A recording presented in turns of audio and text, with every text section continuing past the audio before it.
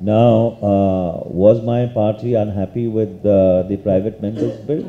Well, no, because it's essentially everybody knows what the fate of a private member's bill is going to be. so, uh, you know, they were not, uh, not, not really very concerned about it. And uh, I think except two, maybe no private members' bills have passed, but the entire intent was to really flag it uh, for a discussion. And uh, so essentially that's where we are, and I do believe at some point in time, if uh, somebody in government actually musters up enough conviction of courage to be able to move it as government legislation, it would really help our parliamentary institutions. It would really help our legislative institutions because, uh, and importantly, the people who are most stifled are the ruling party members. Because those guys who sit on the treasury benches, even their ministers or their, or, or, or their ministers are so arrogant that they don't even walk that extra mile to accommodate the concerns of their own members because it's a given that this herd has to vote for the bill. So, so, so the, the, you know, if the, the lay of the land of the house is structured in a particular manner, government will still uh, reach out to the opposition, but they will not reach out to their own members. And, and, and, and so therefore, the guys who get the worst This is first-hand experience. this is first-hand experience. This is first-hand experience. Yeah, so, so, so, so therefore, uh, I, I think there's a very strong case. I will only conclude by making one more observation.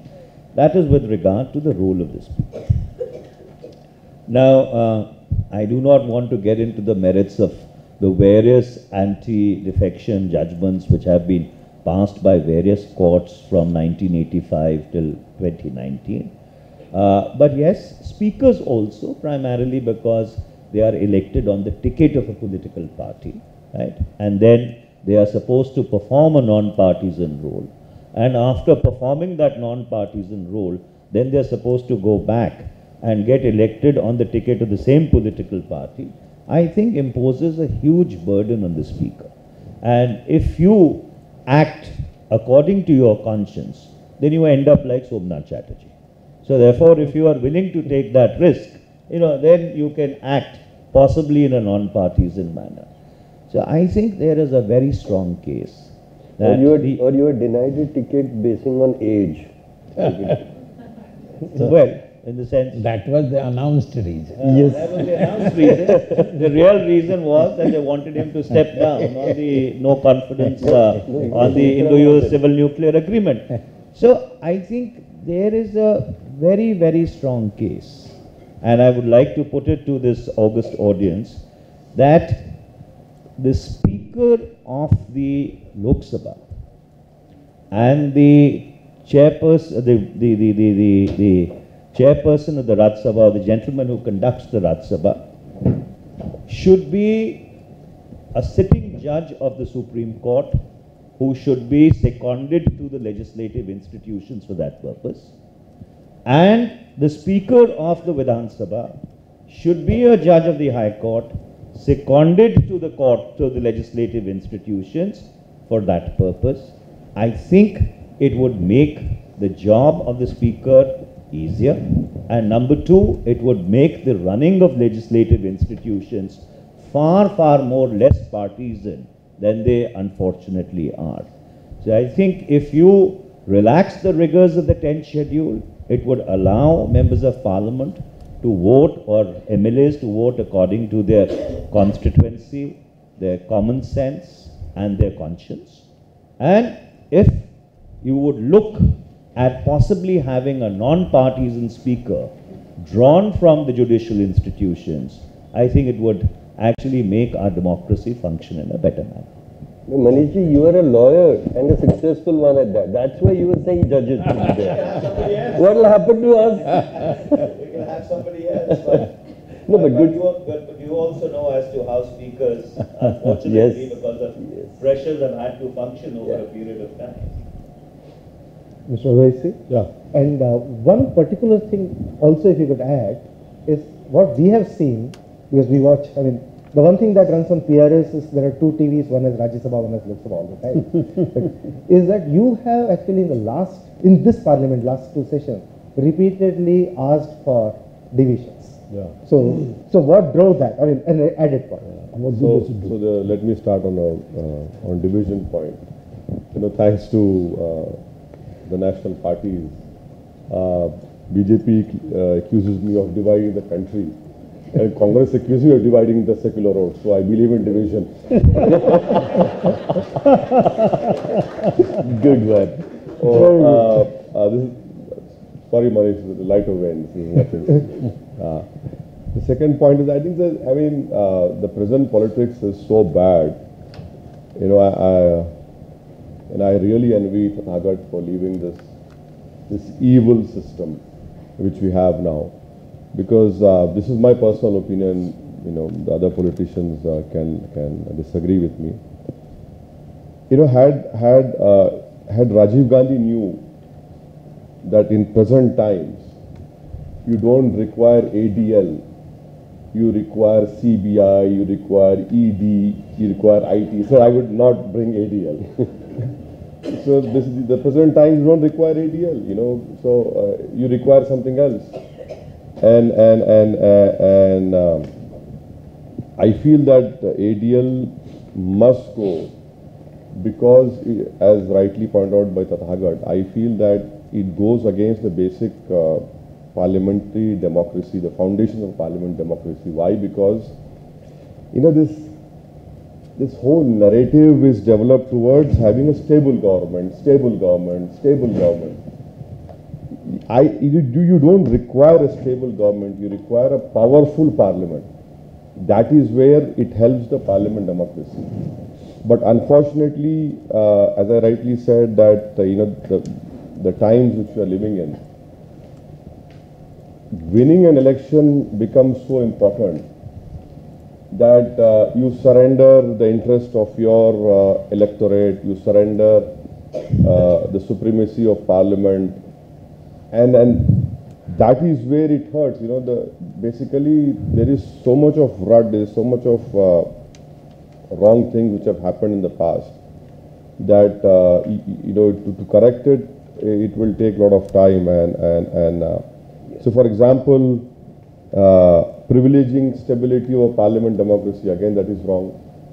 Secondly everyone knows that uh, the supremacy of elected legislature or executive but here you have different executive. We have we ourselves have made executive very powerful. So the legislature has become very weak.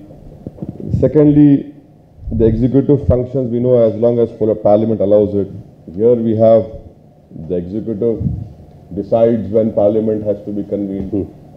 And then thirdly, supremacy of a parliamentarian over the party. Now you have supremacy of a leader over everyone. So, so you know, so you don't. Uh, that is why I feel that this this has uh, uh, created a lot of problems. Uh, ADL, I am against ADL because uh, this whole stability, instability business, you, you don't, we as MPs, we cannot uh, question or keep uh, uh, the executive uh, in check. And then moreover, the constitution has given us section 105, 102, and then article 19. I know there are some Supreme Court judgments which I disagree as usual. Uh, I say Supreme Court is supreme but not infallible.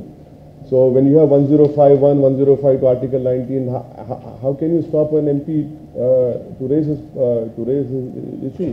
Point. And then, uh, uh, you know, if, if, if ADL was working, why is it that after every state elections, majority of the hotels and holiday resorts are booked?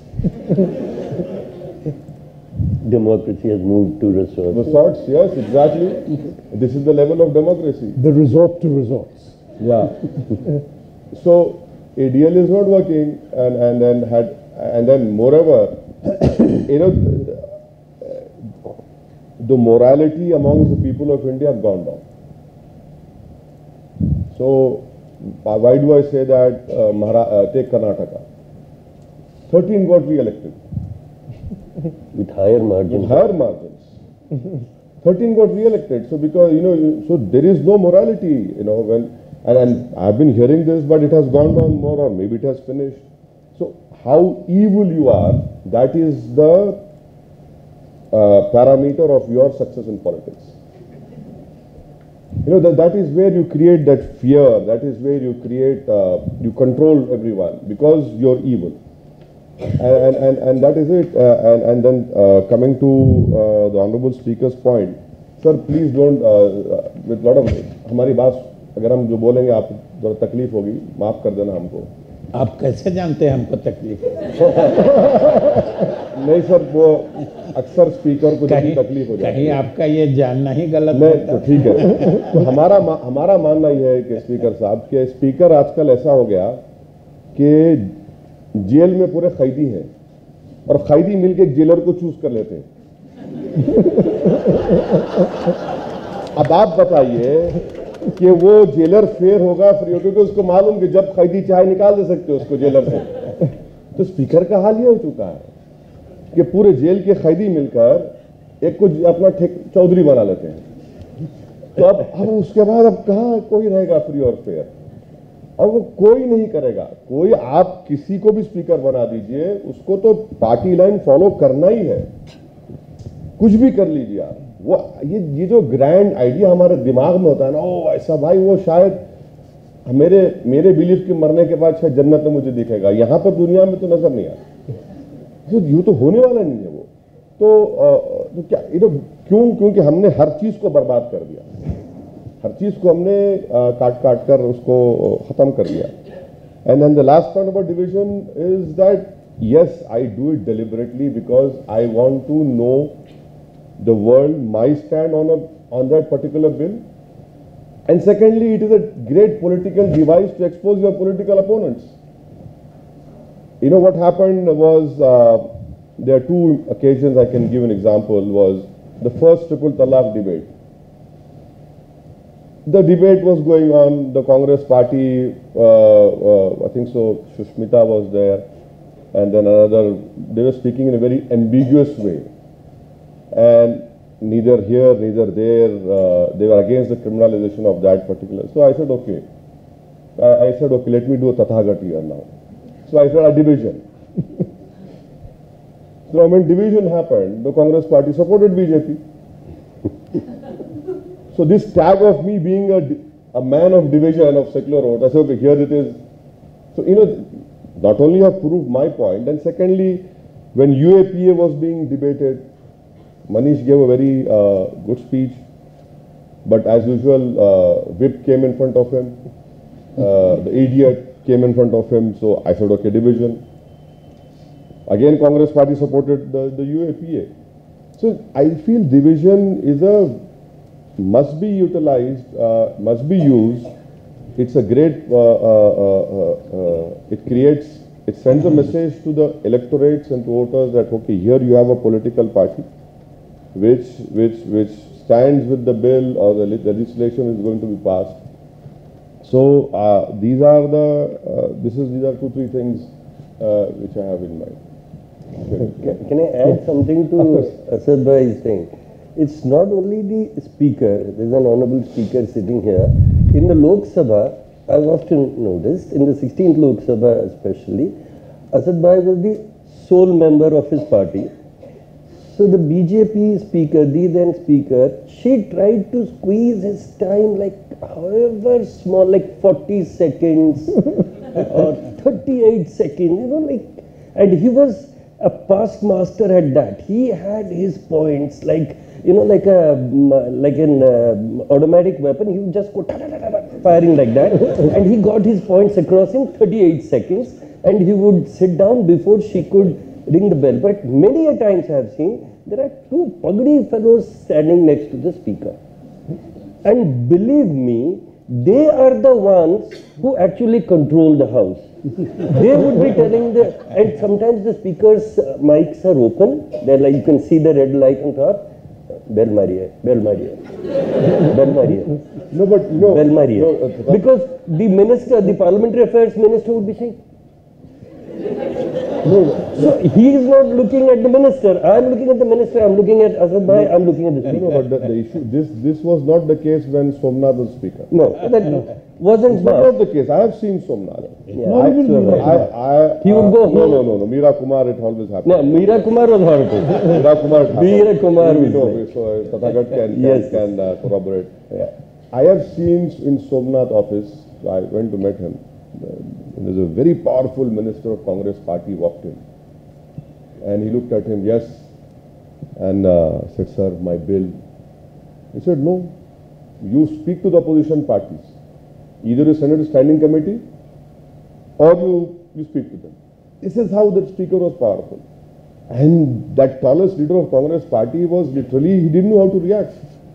You know, that is the power of speaker. You know, he said, either you, so, but unfortunately now things are very different. It is the supreme leader who decides uh, what हम side. Before Dr. Tharoor, हाँ, हम सिर्फ़ ओवैसी साहब ने जो कहा है हम सच पूछते हैं तो मैं सप्लीमेंट करना चाह रहे हैं हमको शुरू में ही जैसा हमने कहा कि हमको तो ये समझ में नहीं आया कि इनको क्यों लग रहा था कि ये बात किसी स्पीकर को खराब लगेगी मेरी समझ से तो हम आपका शुक्रिया अदा करना चाहते हैं कि आपने स्पीकर के दबाव या स्पीकर के पद पर जो परेशानियाँ होती हैं उसका ज़िक्र करके उसको हल्का कर दिया है। आपको कैसे लगा कर और दूसरी बात हम ये ज़रूर कहना चाहते हैं कि ये स्पीकर ये पद पोस्ट और इसका genesis he this is full of contradictions आप इसके नोमेनक्लेचर पर देखिए।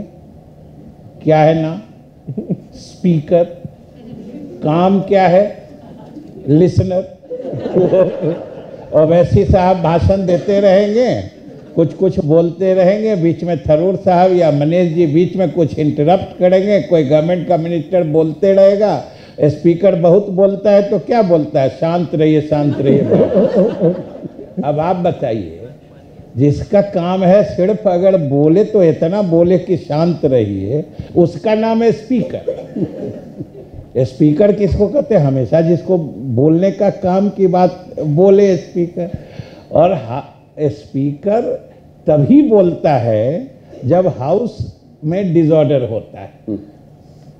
अगर स्पीकर का काम सब जानते हैं कि सब लोग पुराने लोग हैं कि इसका ओरिजिनल डेफिनेशन है कि speaker is one who speaks the least नाम है स्पीकर तो इसका कॉन्ट्रडिक्शन एक कॉन्ट्रडिक्शन बताया। अब दूसरा समझिए, जो अभी वेरी राइटली बता रहे थे ओवैसी साहब, कुछ इन्होंने भी ज़िक्र किया कि हम I am suppose to be a non party man हम नॉन पार्टी मैन हैं जब स्पीकर बन गए। हालाँकि सब जानते हैं जो हम किस पार्टी के हैं। किसी से पूछिएगा जो हम किस पार्टी के हैं सब बता देगा कि हम किस पार्टी के हैं लेकिन हम किसी पार्टी के नहीं हैं। कॉन्ट्रडिक्शन समझिए। हमसे हमेशा एक्सपेक्टेड है नॉन पार्टी बिहेवियर कंडक्ट और सबको मालूम है कि कल जिसी समय ये टेनियर ओवर होगा हमको किस पार्टी के शरण में जाना है और कहाँ से हमको टिकट लेना है? और हमसे उम्मीद की जाती है कि हम नॉन पार्टी बिहेव करें। फिर भी, लेकिन अब सतपति साहब ने जो कहा, यहाँ जो साइड में जो खड़े रहते हैं, वही सर भाई, अब यहाँ कब क्या पार्लियामेंट में हो गया? हम लोगों के तो साइड में जो खड़ा रहता है, जब तक हम कुछ पूछे नहीं, वो बोल ही नहीं सकता है वो पीछे सरका हुआ रहता है। उसकी मजाल नहीं है कि वो सामने आ जाए हमारे चेयर के बगल में आ जाए। सर एक बात आप मैं आपसे जानना चाहूँगा कि ठीक है ये रियलिटी समझते हैं मगर सर ये जो कोर्ट्स को आप लोग क्यों एक्सेप्ट कर रहे हैं? किस कोर्स को? कोर्ट्स की नोटिस आती है। आप लोग क्यों अपने पावर्स अख्तियार को ख़त्म कर रहे हैं? देखिए कोर्ट आपको कैसे डायरेक्ट करेगा? कोर्ट आपको क्यों डिक्टेट करेगा? नहीं नहीं, ये ये ये क्या हो क्या नहीं हम हम आपकी बात नहीं कर रहे नहीं कहा। नहीं नहीं नहीं सर हम आप आपने शुरुआत में कहा था कि सुप्रीम कोर्ट ने बताना चाहिए था। नहीं हमने ये कहा हमारा- बताना हमारा चाहिए था तब की बात जब हमने स्ट्रक्चर्ड फॉर्म नहीं दिया। नहीं नहीं हमारा मानना ये है कि कोर्ट को पार्लियामेंट असेंबली के दरवाजे के बाहर रहना चाहिए। कोर्ट को आना नहीं चाहिए अंदर। कोर्ट कौन होता है बोलने आपको? कि भाई ऐसा गलत हुआ सही ठीक आप गलत करें सही करें वो अलग बात है। ये जो पाँच छः साल में जो कोर्ट स्लोली दाखिल हो रहा है ना कहीं ऐसा ना हो जाए कि पाँच साल के बाद स्पीकर सिर्फ़ फिगलिफ बन जाएगा और जो सुप्रीम कोर्ट या कोर्ट डिसाइड करेगा वही होगा। ये बड़ा डेंजरस समझ है आप इस मतलब हम आपसे पूरा इतफाक रखते हैं बल्कि आपको उस समय अत नहीं हुई थी। याद होगा आपको उत्तराखंड का मामला। जिसमें सुप्रीम कोर्ट ने बाहर से एक ऑफिसर को बैठा दिया था हाउस के अंदर। जो ये वोट कंडक्ट कराएँगे और जो हाउस के अंदर वोटिंग हुई उसका रिज़ल्ट काउंट करके उस ऑफिसर ने एक गवर्नमेंट ऑफिसर ने सील्ड इनवेलप में कोर्ट भेजा। हमने न सिर्फ़ आर्टिकल लिखा उस समय सुमित्रा महाजन यहाँ स्पीकर थी हमने आके कहा और आप लोग सोमनाथ दा का नाम लेते हैं ना उस दिन भी हमने कहा था कि काश आज सोमनाथ चैटर्जी होते हमने सुमित्रा महाजन जी को आके कहा था कि आप all India presiding officers conference बुलाइए। इसके कोर्ट के इस बिहेवियर को हम कंडेम करेंगे हम बिल्कुल। ये क्या तरीका है साहब? स्पीकर बैठा है आ कोई गवर्नमेंट ऑफिसर आके हाउस में वोट कराए और वोट का जो नतीजा आएगा वो सील्ड इन्वेलप में कोर्ट जाएगा और कोर्ट अनाउंस करेगा। तो इसलिए उस माने में हम पूरा अपने हमारा कहना सिर्फ़ ये है कि it should be in a proper structured form so that कि उसको ऐसा नहीं कुछ करे कि वल्नरेबल इतना कर दे कि हमेशा उस पर उंगली उठती रहे।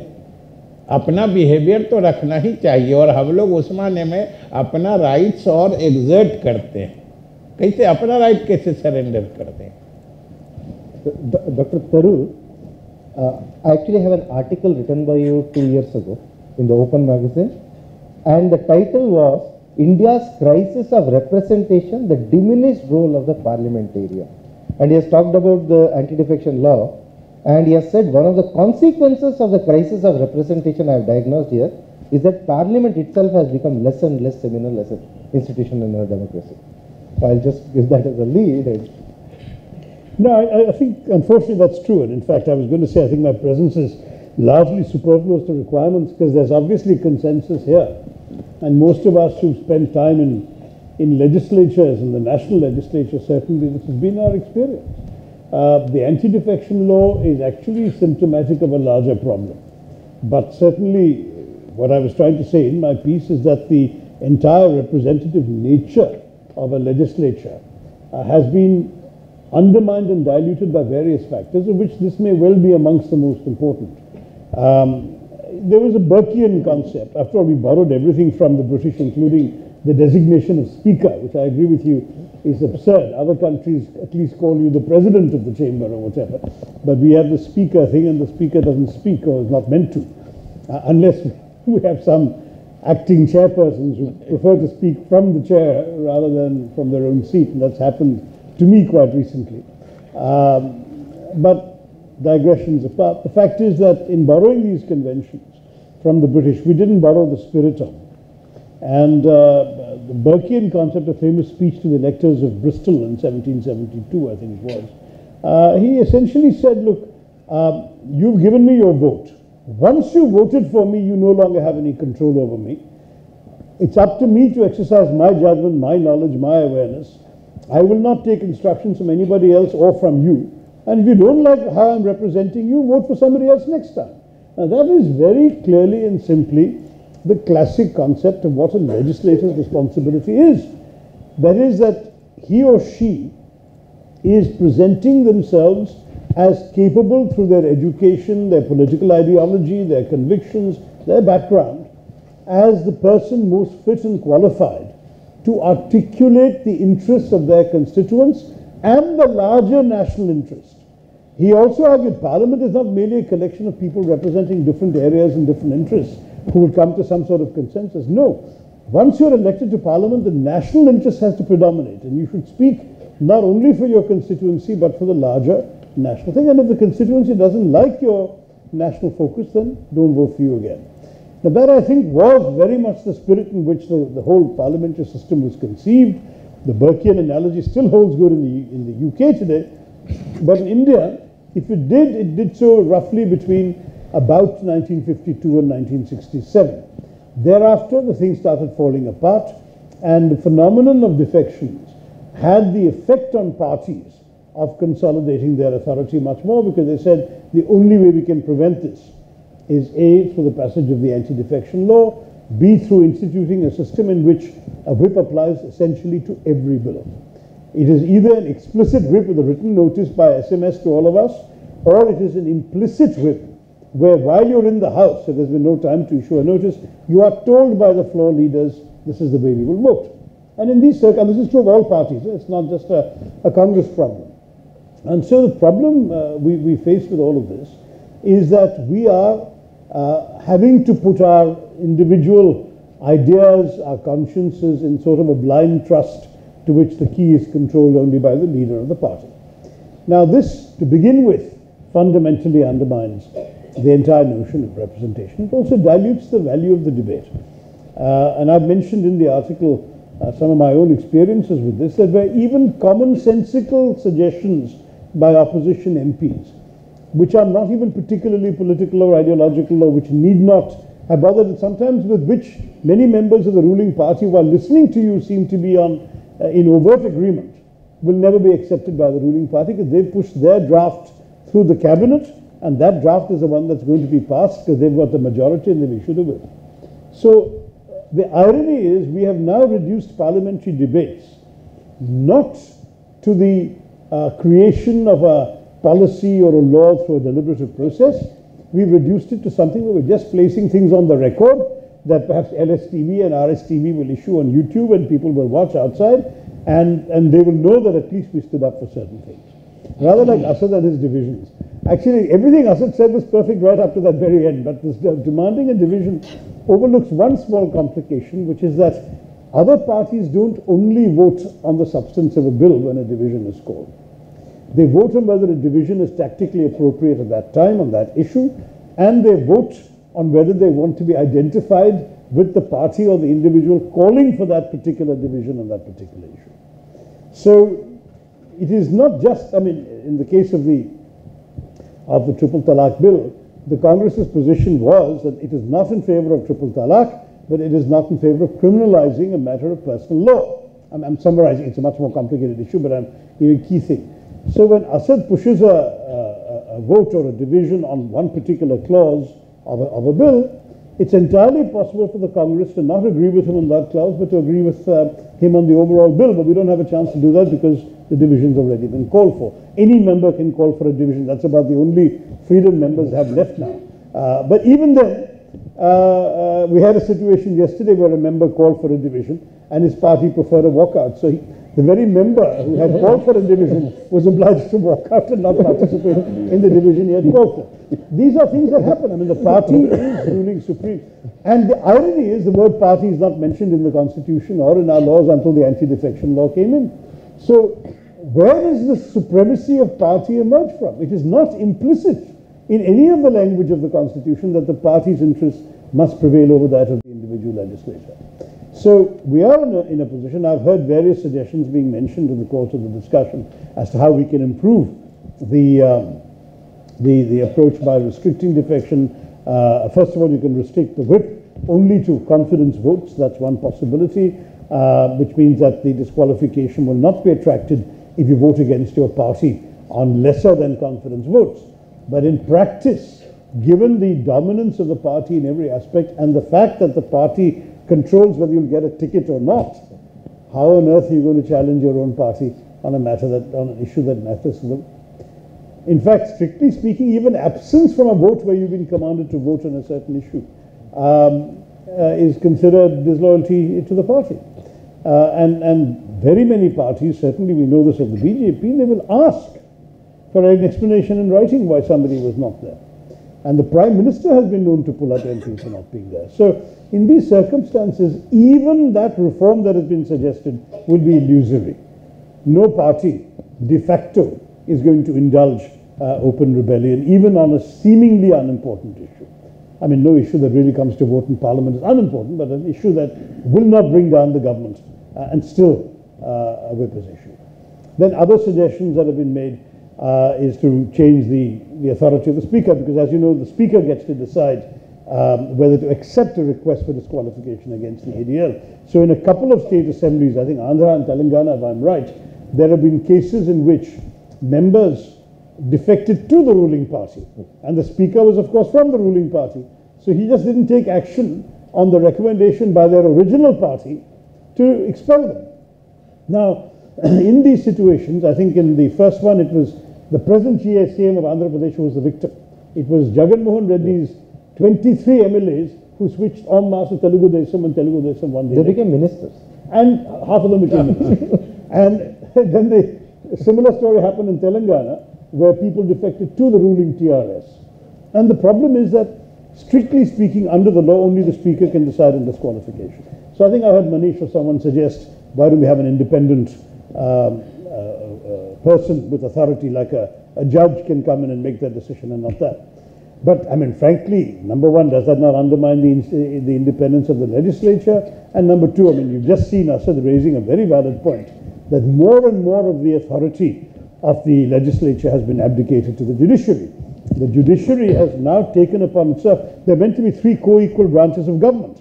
The executive acts, the legislature holds it accountable, the judiciary interprets both the work of the legislature and the actions of the executive. But by so doing, the judiciary has essentially become the, the most powerful institution it can tell the executive that it can't do something and it can tell the legislature to do something or even also not to do something. Uh, and, and that again raises questions because, of course, the judiciary is appointed by the executive at bottom, uh, and, and the uh, executive's influence over the judiciary is so great that the judiciary becoming the, um, the, the most powerful institution actually also potentially uh, seriously undermines the effectiveness of the opposition in our democracy. I've spoken too much, but I mean, broadly speaking, all these concerns mean we have a problem, and whatever solution we have is not, frankly, going to be enough of a solution. No, I just want to, uh, you know, this having ADL is, is having a social impact on our politics. I'll give you two examples. When uh, reservation was being given on economic grounds, I happened to speak to many uh, scheduled caste MPs. And at least 20, 25 of them were really upset. Now, because of ADL, they cannot voice. Because had they been no whip issued, had there not been an anti-defection law, they would have definitely spoken about it, against it. Secondly, you have uh, uh, uh, a, a, a CAB bill. You have uh, Muslim MPs from various parties. No, they cannot voice because the CAB is going, in future is going to have a great impact. And thirdly, you have political parties helping a government without even issuing whip. You see this contradiction. You have whip, then you don't issue a whip, and yesterday in Rajya Sabha, two NCP MPs don't turn up. You don't issue a whip. See, that is why I said this this whole uh, system is a mess. And about Manish's point of having a, a judiciary, you know, for, I'll give you a scenario. So me and Tathagat do something against our party. Imagine we are not in BJD or I am not in MIM. And we have a judiciary, someone appointed there. So the honorable, uh, whoever is there will come and say, okay, don't worry, I'll give you five acres, go home. It will not happen, no? He'll tell take five workers, you don't forget about the whole thing. so where is the end to it? See, the mess is so much. Who do we trust? Yes, trust deficit. Who do we trust? In that you, you have someone who will really discharge his duty without fear and will you fear? That is not there. That is why whatever little bit of independence we have protected. We just saw the outgoing Chief Justice, the way he behaved and how he harmed the, the image of the Supreme Court. One shouldn't be speaking about Chief Justices, is that right? You're a free man. Well, I'm not an MP, so I can speak anything I like. No, I think uh, there is also a need to turn the torch inwards. You know, what, what, what, what would you think of an institution where when you watch television, all you see is people hurling mics at each other, hurling shoes at each other, you know, disrupting the house all the time. I think the, the, the, the legislators have actually contributed tremendously to making legislative institutions redundant to the national discourse. I think there is a there is a need for people to also reflect on their own conduct, going back now three decades or four decades, which has uh, created a situation whereby legislative institutions and legislators per se are not people who are respected even by those who elect them. But I just wanted to actually delve into a deeper question which was raised by the Honorable Speaker with regard to the doctrine of separation of powers. And I think that goes to the heart of the Constitution, you know, between the judiciary, the legislature, and the executive. Yeah. I think uh, the legislative institutions made uh, a fundamental error when they started accepting court notices and responding to them. In fact, if you would have had more enlightened speakers, and I can recall an instance in uh, Haryana not too recently when the Punjab and Haryana High Court issued a notice to the speaker, and the speaker uh, went and filed a wakalat and filed his affidavit. So therefore, if speakers were to stand up, you know, for the legislative institutions they represent, and say that this goes against the doctrine of separation of powers, and if you have the gumption, haul me up for contempt, and I'll haul you up for privilege. so then that's how the, the, the intrinsic tension and the, the, the balance of power uh, remains at an equilibrium. But unfortunately, because, and with great respect to all the speakers, you know, generally there's been a deterioration across the board, and the speakers are also not really immune from that deterioration, and so therefore uh, you have a situation where people are not able to stand up. The last point I want to make is, you know, with regard to the anti-defection law. Now, in the anti-defection law, there is a provision whereby you can ask for permission from your party not to vote for a particular bill on which a whip has been issued. I attempted to push that envelope and I asked for permission not to vote on the Lokpal bill because I find the Lokpal bill to be inherently repugnant to the constitutional scheme. You know, you cannot have uh, some fellow sitting over and above the entire constitutional superstructure and really be doing what he has been empowered to do, unfortunately by a parliament of which both, uh, all three of us, Asad Shashi and I, and even Satpathy Saab were members. So obviously uh, it became a bit of an issue and I was quietly told that, you know, kind of don't uh, persist with this. But the fact is that uh, nobody really has even if, uh, exhibited that conviction of courage ever since the anti-defection law came in of standing up to their own parties and saying that, look, I don't believe that this is correct. You may have your reasons of going ahead with it, but allow me the option of opting out. But then you know the outcome. Well, in the sense that that it, it, you know, it again comes back to how strong your convictions are. Hmm. You know, if you are, if you feel passionately enough or strongly enough that it doesn't really bother you whether you get elected or you're given a ticket the next time. You know, I, that's the test of a hmm. person. I, I had a wicked thought when you were talking about your bill. It is, you had the private member bill. Possibly party, all a- across parties, no party leadership would like that, because, uh, including I guess your party. Suppose that private member bill had come for consideration in party, had been, had come in, and the party issued a whip against it. Would you have had to vote against your own bill? No, actually, that's a purely theoretical question because private members' bills are not subject to votes. It's Are they- only bills introduced by the government that are subject to vote. I thought all motions are, right? Uh, Well, so far it's never been tested because there hasn't been one, but I know, for example, on the very rare private members' bills that did come up for discussion, there was no. One of yours was actually voted uh, down uh, on a whip. But that was not, no, it was not, the Three seven Uh, introduction. And he wasn't present in the house. of course I was. You weren't, present, I- I, sup- I was the only one who moved and I supported your No, no, no, bill. I, I was very much present on both occasions as the media. All right, I give up. But I have spoken to a number of BJP members, including ministers, who claimed to be sympathetic to the principles I was advocating in the bill and who told me they'd vote for it. And yet, when the actual, when a certain unmentionable BJP MP uh, demanded a vote on the most absurd grounds, um, the entire BJP lot, en bloc, including the four people present, having told me they were present to vote for my bill if necessary, they all voted against. So you're right. De facto, the BJP made it clear this was a party line. But the truth is that um, I don't believe, from my sources in the same party, that any whip had been issued. It was just a lot of pressure being brought at the moment by the people sitting there that no, no, no, no, no, this has come from so and so, and we have to do this. So you're right, there is always moral pressure. But as I, it comes down at the bottom to your dependence on parties.